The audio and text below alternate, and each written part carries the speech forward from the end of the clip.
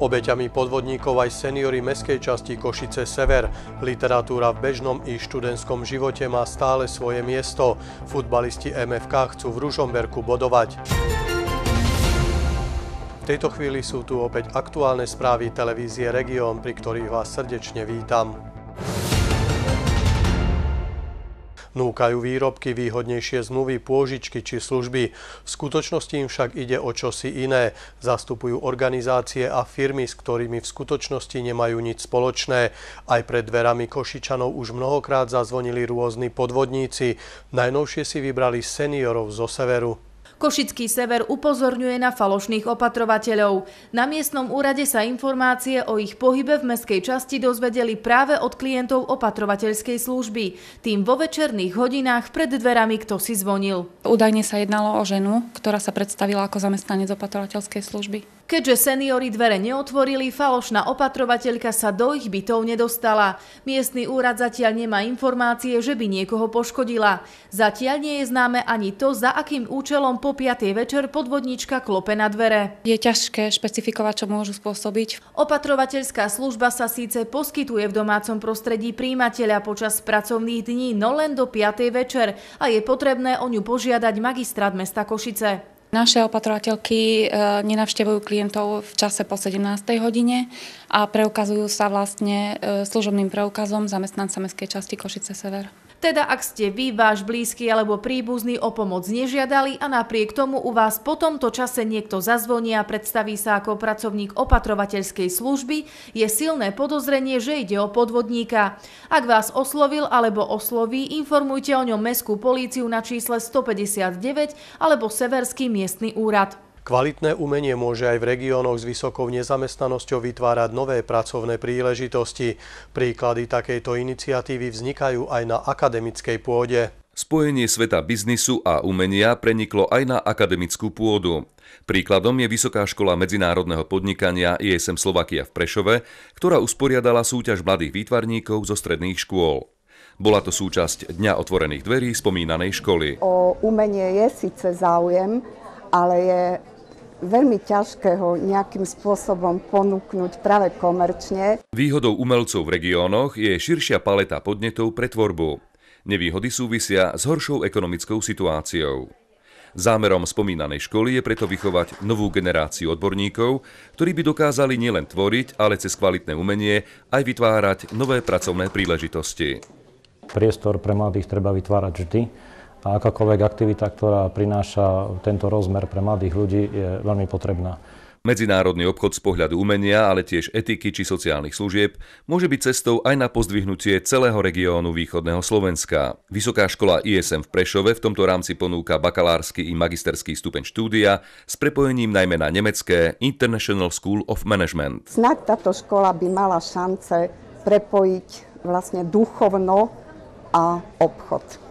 Žiaci Košického kraja majú už od pondelka jarné prázdniny. Ak vám dochádzajú nápady na využitie voľného času pre vaše dieťa, ponúkame niekoľko zaujímavých typov, ako ho ešte vyplniť.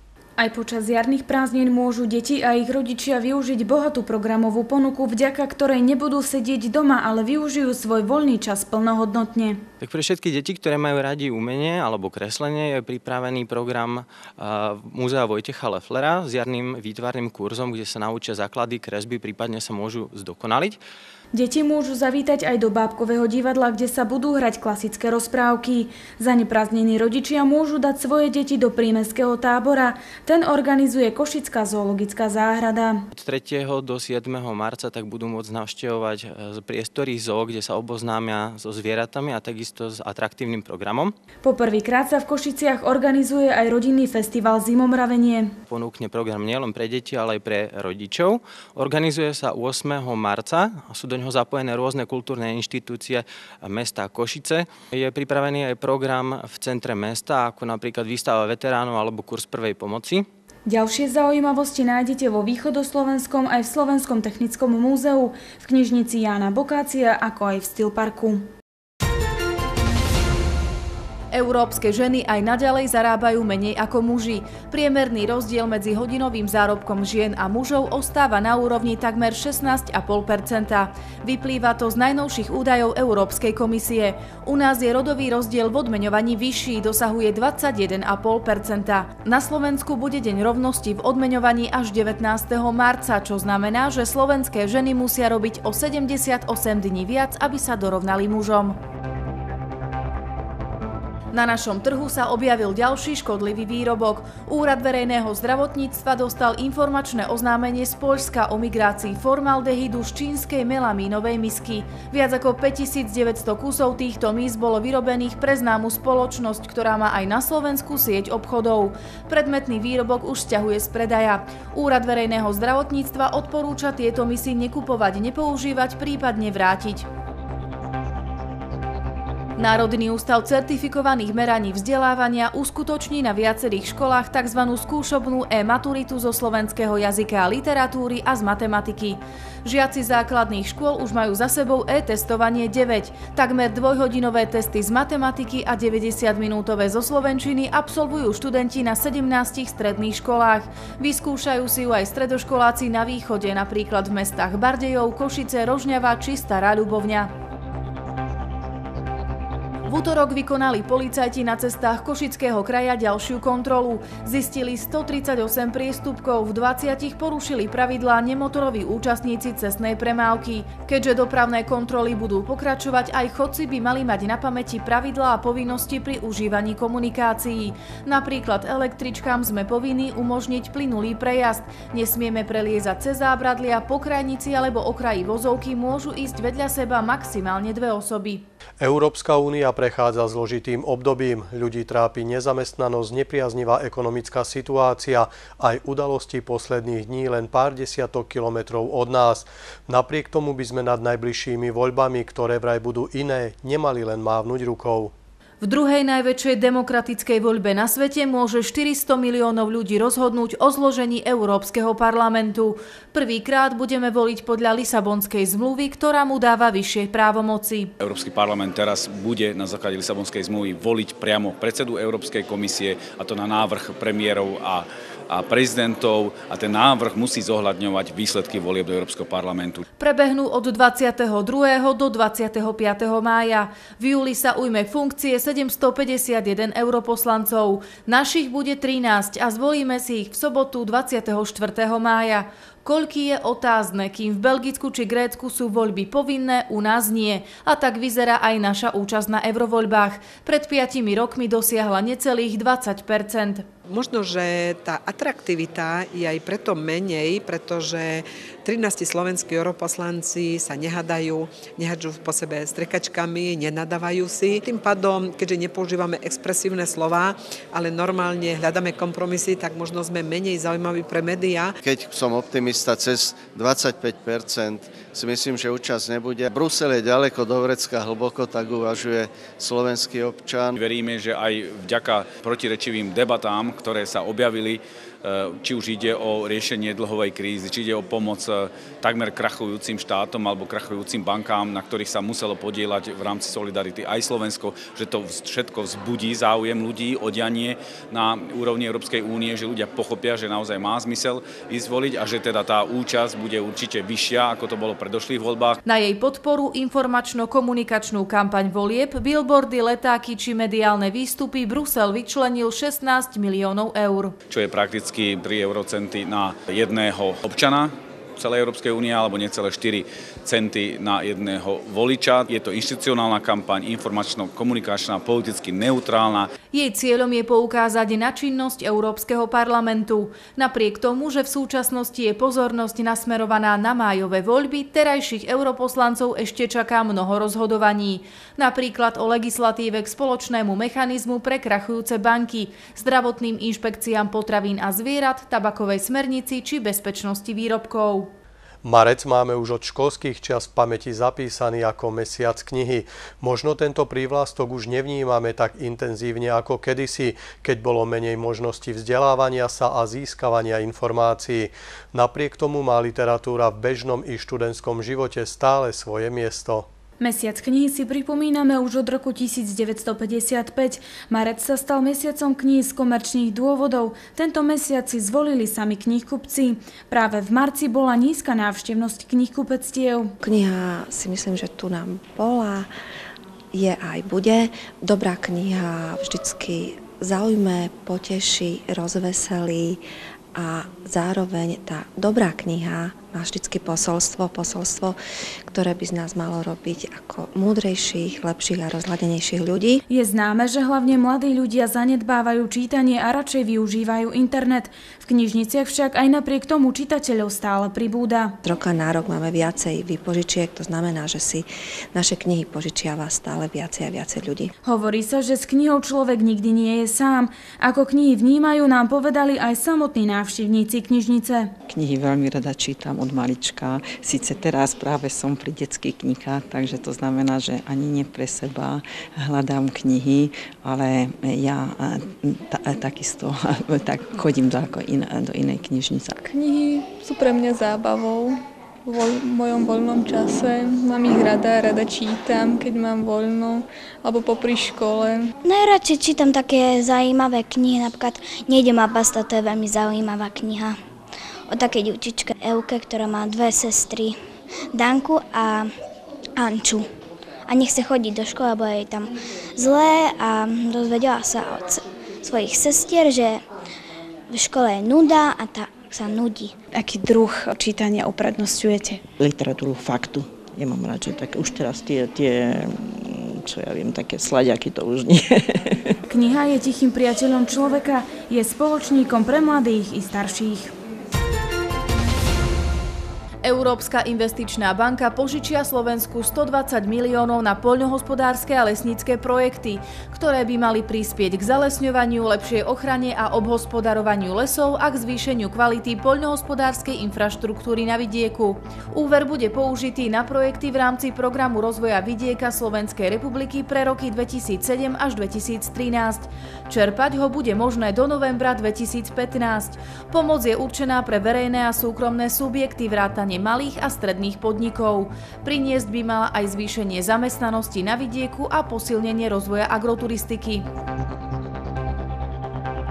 Minulý rok posudkoví lekári sociálnej poisťovne ukončili veľký počet tzv. péniek.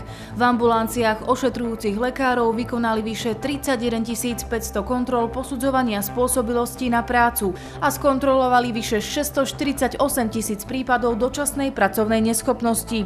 Kvôli neopodstatnenosti ďalšieho trvania péniek ich ošetrujúci lekári ukončili takmer v 80 tisícoch prípadoch, teda vo vyše 12% Sociálna poisťovňa poisťovňa pokračovala aj v kontrolách dodržiavania liečebného režimu. Zisťovala, či sa ľudia na PNK nachádzajú na adresách, ktoré majú uvedené v žiadostiach o nemocenské. Vykonala vyše 105 tisíc kontrol. Výsledkom bolo vyše 24% ukončených dočasných péniek, viac ako 72% ospravedlnených. Máte na policiach knihy, ktoré ste už niekoľkokrát prečítali, neplánujete sa k ním vrátiť, ale nechcete, aby skončili v koši? Môžete ich darovať. V Košickej meskej časti nad jazerom sa od 10. do 21. marca uskutoční zbierka kníh. Atlasy, romány, cestopisy či iné knihy môžete priniesť na sekretariat miestneho úradu, odkiaľ spoločne 26. marca poputujú do verejnej knižnice Jana Bokácia v miestnom obchodnom centre. Ako motiváciu si mestská časť pripravila aj žrebovanie darcov, o poukážky na nákup nových kníh a čitateľské preukazy.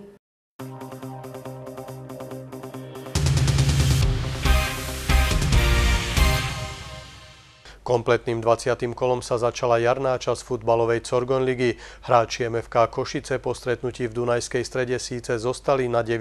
mieste, no do tabuľky si za bezgolovú remízu pripísali jeden bod. Košičania napriek štvrtej remíze na ihrisku súpera si u posledného mužstva tabuľky trúfali naviac. Červená karta v 51. minúte však logicky znamenala zmenu herného systému MFK. Hrali sme od, od 50. minúty v 10, tak o, my to bereme ako plusový bod a ktorý sme dovezli zvenku a teď sa chystáme už na Ružomberok.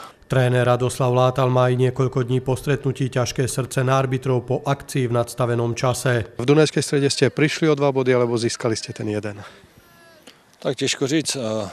Když si spomenu ten závěr, kde jsme měli kopat penaltu, tak jsme určitě o dva, o dva body přišli. Ružombero, ktorý v sobotu zvíťazil v Mijave hladko 3-0, má vo svojom strede aj najlepšieho strelca súťaže kamerunského stredopoliara Tavambu s 11 gólmi. My se na ten zápas dobře připravíme, máme z toho zápasu, kde hráli oni v Mijavě dividičko, nachystáme manča, protože je pravda, že je to náš soupeř ve slovenském poháru a my se vlastně během tohoto půl roku čtyřikrát plus střetneme, takže je to první náš zápas a my se na to připravíme tak, aby jsme, aby jsme o nějaký ty body okradli. Radoslav Látal sa na rozdiel od zápasu v Dunajskej strede bude musieť v Ružomberku spoliehať na obmenený káder. Tak změny budou, protože vlastně uh, Georgievič má červenou kartu a, a já pevně doufám, že bude už Bayern k dispozici, takže nějaké změny tam budou a, a bude to aj prispôsobený soupeři určite.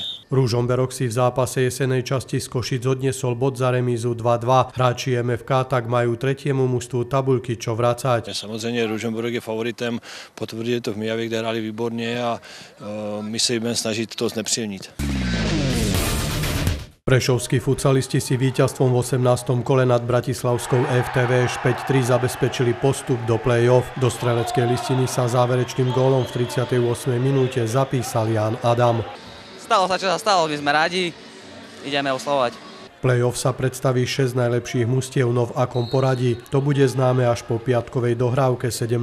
kola. Nej sa stretnú FTV so Žilinou, v bratislavskom derby Čekan za Krosom a Nitra s Prešovom. Tak Nitre sa hraje stále ťažko. E, neviem, ako skončili ostatné výsledky, čiže neviem, ako na tom sme, tak uvidíme. Šarišania môžu po základnej časti skončiť najlepšie na štvrtom mieste za novými zámkami. Štvrťfinálové duely hrané na dve víťazstva sa netýkajú prvých dvoch mustiev tabuľky Slovmatiku a Akrosu Bratislava. Tie majú dostatok času pripraviť sa na svojich semifinálových súperov. Na majstrovstvách Slovenska v stolnom tenise sa darilo košickým zástupcom. Eva Jurková, kmeňová hráčka Lokomotívy Košice spolu s naturalizovaným Číňanom Yangom získala zlatú medailu v zmiešanej štvorhre. Zlatá medail v mixe bola vôbec prvá v kariére Evy Jurkovej v súťaži medzi dospelými hráčkami. Rodáčka zo Stropkova skončila vo finále žien na druhom mieste, bronz pridala v štvorhre spolu s Truxovou. Jednoznačne streborná medaila vo štvorhre sa hodnotí ako zlato, pretože práve tá streborná medail a umiestnenie na majstrovstve Slovensko dali právo Evi štartovať na majstrovstvách sveta, ktoré sa uskutoční v apríle v Japonsku. V krajine vychádzajúceho slnka bude Slovensko reprezentovať súťaži družstiev trio Balážova, Truxova a Jurková. Naše dievčatá začnú šampionát v B kategórii. Len zbierať skúsenosti tam nestačí, bude treba bojovať a bude treba aj vyhrávať. Do majstrovstiev sveta v Tokiu zostávajú necelé dva mesiace. Naše reprezentantky majú v pláne aj tréningové sústredenie na Ukrajine s domácou špičkou. Vzhľadom na posledné udalosti v Ukrajine tento tábor neviem, či sa uskutoční, ale v každom prípade príprava bude prebiehať intenzívna a ja si myslím, že tá príprava sa ukáže aj na majstrovstvo sveta. Na slovenskom šampionáte získal ďalšiu zlatú medailu pre zástupcov z východu republiky Jakub Figel. Bývalý hráč Košickej lokomotívy dominoval vo štvorhre spolu s Kristianom Kobesom.